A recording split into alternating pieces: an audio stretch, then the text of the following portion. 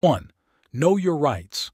Interacting with the police can be stressful, so it's crucial to understand your rights and what an officer can legally demand from you during these encounters. 2. If stopped or questioned. If you are stopped or questioned by the police, remain calm and respectful.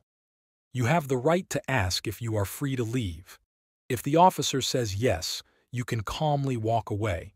If the officer detains you, you have the right to remain silent and not answer any questions without a lawyer present. 3. If arrested. If you are arrested, remember your right to remain silent and not incriminate yourself. You also have the right to an attorney. Do not resist arrest, as it can lead to further legal consequences. Cooperate with the officers, but be mindful of your rights. 4. Filing a complaint. If you believe your rights were violated,